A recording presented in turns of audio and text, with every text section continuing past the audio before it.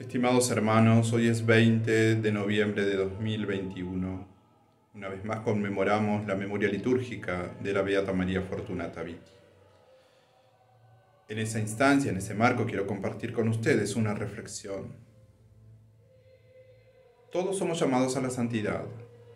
La santidad no precisa ostentación alguna, ni alardes, ni actos extraordinariamente heroicos, ni cruzadas relevantes.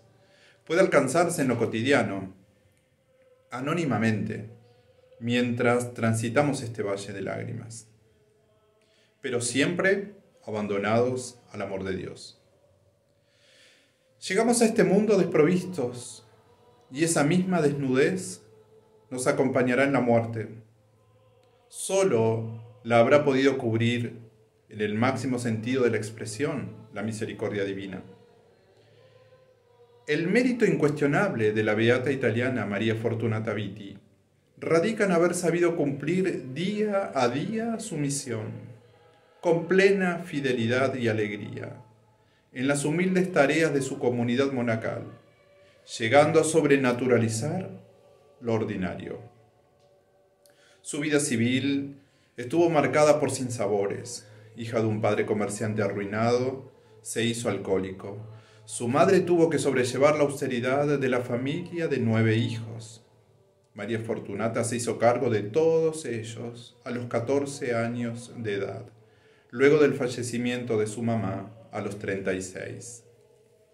Ana Felicia, tal cual su nombre en el siglo, trabajó como empleada doméstica al servicio de una familia de Monte San Giovanni Campano. En ese momento su trabajo era prácticamente la única vía de ingresos que entraba en el hogar. Y este fue el escenario de su vida hasta los 24 años.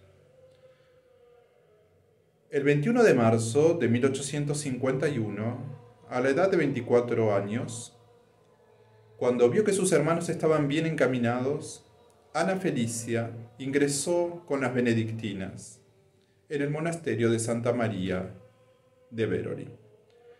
Al profesar tomó el nombre de María Fortunata. Era inculta, no sabía leer ni escribir. Por ello fue destinada a labores domésticas del convento. Pero a pesar de todo ello siempre quiso alcanzar la santidad, a la que, como dije al principio, todos somos llamados. Nunca abandonó la clausura, fue obediente, amable, servicial, sencilla y caritativa, con una intensa vida de oración y silencio. María Fortunata se postraba ante el Santísimo, ante el Santísimo Sacramento, al que tenía gran devoción, dando ejemplo de fidelidad y entrega fue agraciada con los dones de milagros y de profecía. Falleció el 20 de noviembre de 1922 cuando contaba con 95 años. Había llegado a tan avanzada edad, aquejada por el reumatismo y apresada en su lecho con ceguera, sordera y parálisis.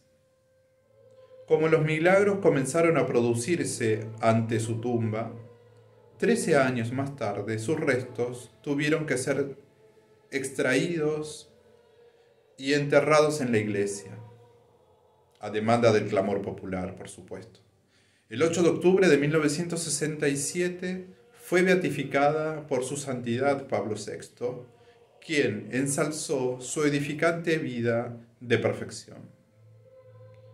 En nuestra visita al monasterio de Santa María dei Franconi, en Veroli, región del Lacio, el 27 de mayo de 2017, conjuntamente con otros cohermanos en la orden y junto a nuestro gran prior espiritual en aquel entonces, Monseñor Oscar Risato, que en paz descanse,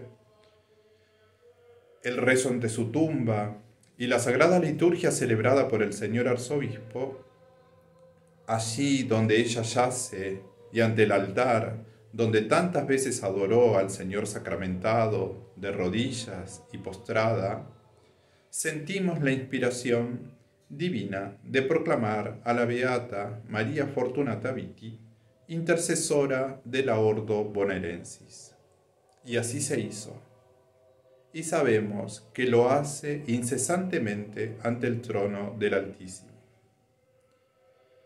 La reverenda Madre Abadesa María Leticia Cianchetti, Dama de Piedad y Devoción, nos confió la reliquia de la Beata que veneramos aquí en la capilla magistral desde entonces.